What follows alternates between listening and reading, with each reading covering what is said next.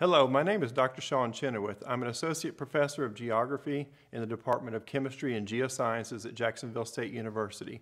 Here at JSU, we are working with the latest geospatial technology, and in this video, I'm going to show you how to build a drone equipped with LiDAR technology.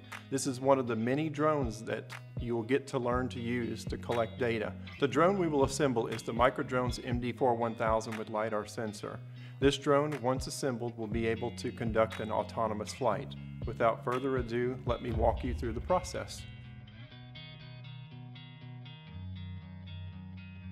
I'm going to show you how to put together this Microdrones MD4 1000 today.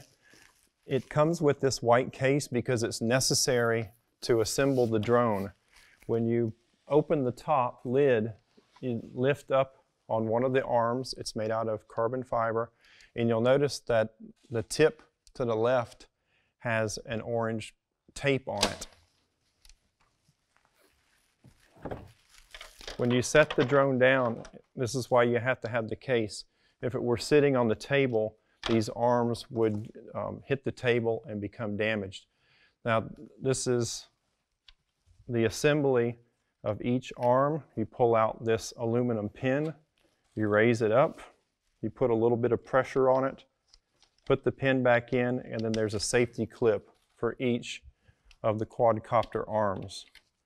And you repeat that process for each one.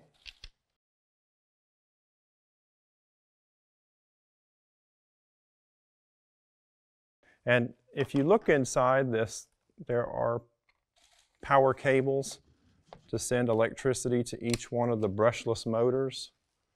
These are made out of carbon fiber as well. So now we can transfer the drone over here for easier assembly.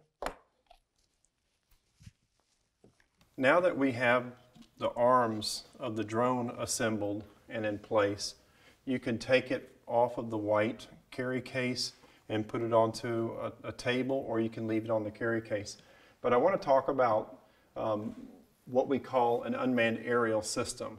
So the systems part is the drone or the UAV, the unmanned aerial vehicle, batteries that are very important for the operation of the drone, the remote control or the ground control station, which has a tablet that goes with it and an, another uh, backup external radio. The dome will eventually go on top to enclose the battery and the electrical wires.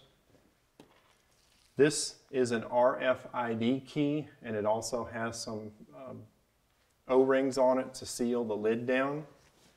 The RFID key is, is to use to activate it.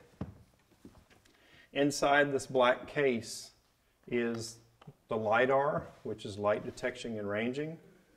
And this is the most expensive part of the drone.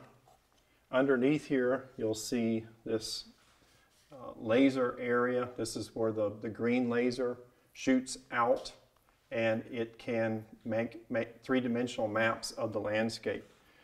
Underneath this black cover is an RGB camera that is used to colorize the LiDAR once the three-dimensional LiDAR data is processed. So you not only are collecting um, laser information of the landscape, but you also have, you're collecting data that can be used to make normal maps like your cell phone. So the next thing that I'm going to do is to take the LiDAR and connect the antenna and the um, multispectral wire to it and then I will attach it to the drone. So first I'll attach the communication wire to it.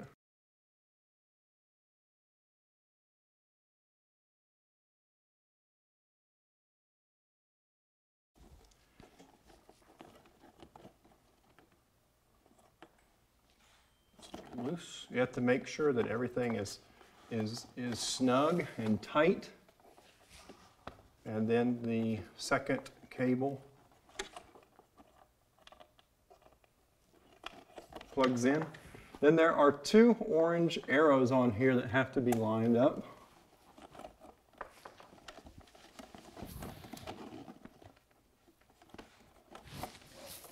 And then twisted clockwise.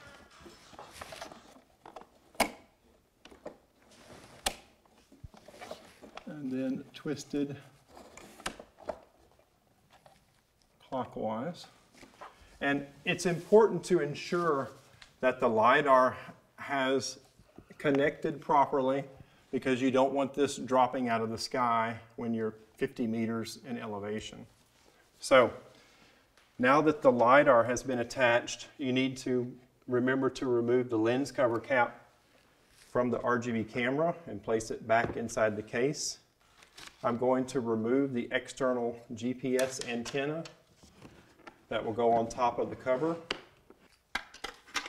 This external GPS antenna is necessary so that the GPS can obtain centimeter, centimeter level accuracy.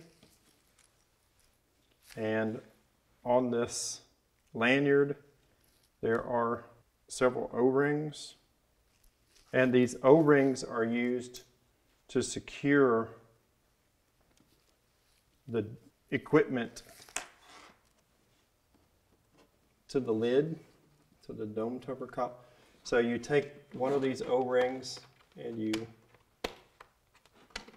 clip it to the top and bottom. So on either side.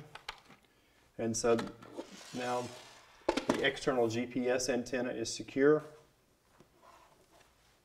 The next thing that we'll do is take out one of the batteries that's used to operate the drone. And these are lithium polymer batteries. When they're fully charged, they have a 25.2 volts. So you use this multimeter to check the voltage of your battery before it flies. So you take the, the black lead and put it on the negative side don't touch the metal. And the red to the positive side, and it is reading 25 volts. So it's two tenths of a volt shy of full charge, which is good. And put the multimeter back. And we take this battery, and it is placed on the top of the drone. There are um, specific clip marks for it. And if you'll hear the battery lock into place. As a precaution, there is a battery safety clip that is used to hold the battery in place just in case it could potentially come loose as it's flying. So I'm going to connect the negative lead and the positive lead. Now, you may not have seen that on camera, but there was a little spark that occurred when I put the positive lead on.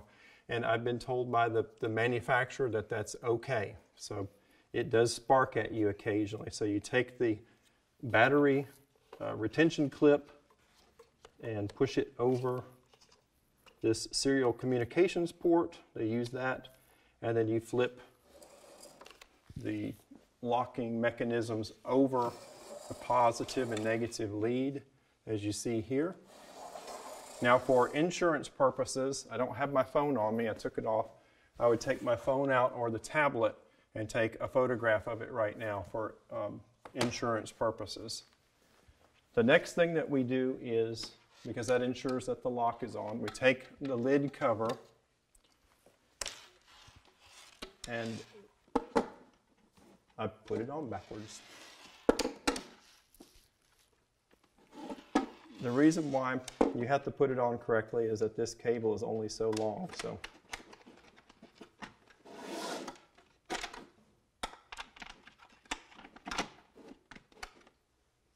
And screw it in first, and then put the O-ring retainers on it.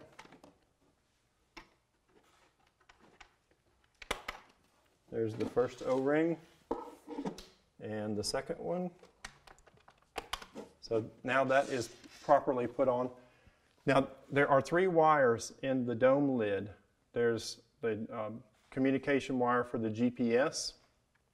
This is this multicolored one here, this bluish purple one, is for the multispectral camera, which we don't have today, so I won't hook that up.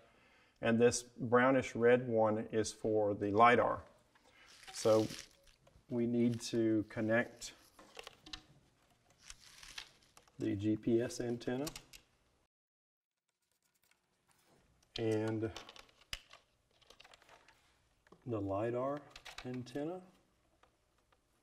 And when you're putting these small pinned connectors together, you don't ever want to force it. You want it to be a gentle, smooth process and make sure that it is well seated. So don't force your cables. And you could plug this in or leave it dangling. I like to just leave it. There's also, just like the bottom, there are two orange dots. You see this orange triangle here. There's an orange triangle on this side. You'll just have to trust me. And you line those up. Now, since it's carbon fiber, there's a little bit of flex to it, just like that. And I kind of feel around the lid to see that it's level. And I'm going to turn it clockwise until it connects. You heard it snap in. And I'm going to just give a little tug on the dome to make sure that it's secure all the way around.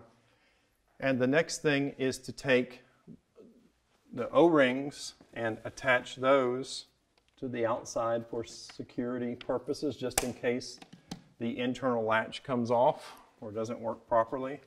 There's one on this side.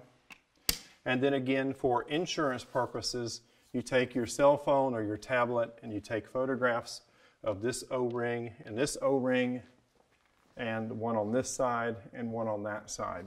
And so that's stored on your, your device. Now, on the back of the LiDAR, me rotate this around gently, is a external uh, thumb drive. And so all the data is stored on this thumb drive that you will extract later for image processing. And that is the assembly of the unmanned aerial vehicle. And the next thing that needs to be put together is the remote control or the ground control station. And it comes with this plastic arm that fits over the top of the remote control. And you have to kind of make sure it's in the right slot and give it a little force. And there's a pin on the back of it that latches it, or the bottom. You take the tablet, and this tablet contains software called MD Cockpit, and the MD Cockpit software is used for mission planning. And mission planning allows the drone to fly autonomously because when you're flying this drone, it is very difficult for a human to fly the grid pattern that's necessary to, co- to collect the data. So this thing is, the drone is flown by computer control, autonomous control, and it also will follow the terrain, which you would be unable to do as, as a human. So you have your remote control, the tablet attached to it. The next thing is this um, radio device that sends out um, command and control to the drone, and it connects to the tablet. You have to ensure that it's tightly clipped in. On the, on the back of this plastic arm is an adjusting device, so you kind of have to make sure that that's secure. And once the remote control or the ground control station is assembled, you want to make sure that the antenna is adjusted vertically because this is how the strongest signal is propagated out away from the remote control or ground control station.